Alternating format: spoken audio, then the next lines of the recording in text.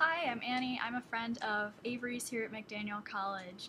And the cool thing about Avery is that in addition to being a great filmmaker, she has this awesome ability of taking the crazy things that come out of people's mouths and being a kleptomaniac for those things. And she likes to call it stolen dialogue. So today, I'm here to read some of those one-liners of stolen dialogue to you. So I guess maybe they could be stolen monologue, but um, I'm gonna read them because they're fun.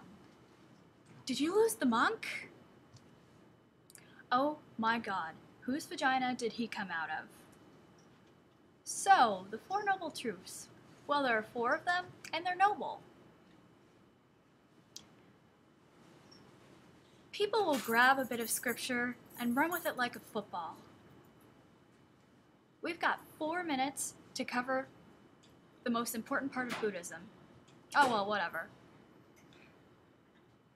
Newt Gingrich creeps the hell out of me. I gotta be honest. I feel like he should be in a hollow tree making cookies or something. My uterus is in it to win it. That's worse than two horny hamsters in a handbasket. If I were a prison warden, I'd want my prisoners sitting around doing Buddhist meditation too. This piece of work is just an awkward expression.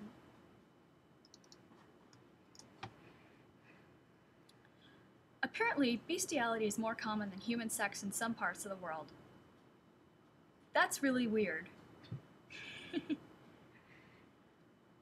I've never thought of a feminist as being tough, dry, overcooked, and hard to cut. The War of the Worlds. Well, the clearest answer I got there was that humanity doesn't have a whole lot of control over anything. In The Thing from Another World, you've got this power mongering, crazy effer who doesn't care if all of his friends die. So there's an example of an irrational scientist right there. Did you just make smartassy a word? I sound like a Wookiee on helium. That there is what we call an inside joke. Did you eat a bowl of unoriginal for breakfast? Let's not tell Mr. Westcott that none of us did our homework, okay? We'll just say something that we got off Spark Notes. He won't know the difference. I Facebooked the crap out of him. No, I did not stalk him. I Facebooked him. There's a difference. Hey guys, I've got an idea. Let's have a revolution. Some people are born to be wild. Some people are born to be artists. He was born to be unprofessional. This just bypasses all levels of awkward. This is so much awkward, it's practically coming out of your ears. You are unnaturally full of awkward. Instead of the date rape drug, somebody poisoned your drink with a whole lot of awkward. All my friends have paired off. I have 16 close friends and they're all couples. So today, when I went to eat lunch with them, it wasn't like 16 individual people so much as 8 two-headed people. This here is what we in the business call a total effing disaster. I'll bring the donuts, you bring 2012 and I Am Legend, and we'll make a party out of it. Listen to what we're having for dinner. Irish chicken nuggets, Irish soy nuggets, Irish macaroni and cheese. Let me ask you, how do you make chicken nuggets Irish? Maybe they'll just like diet green.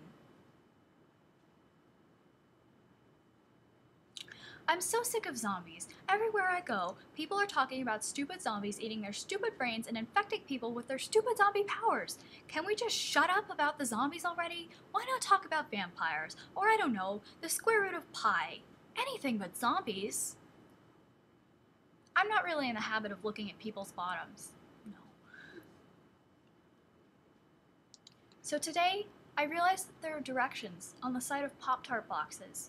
Dude, no person is stupid enough to need directions to eat a Pop Tart. That's gotta be a misprint, or like a really bad joke from the Pop Tart company.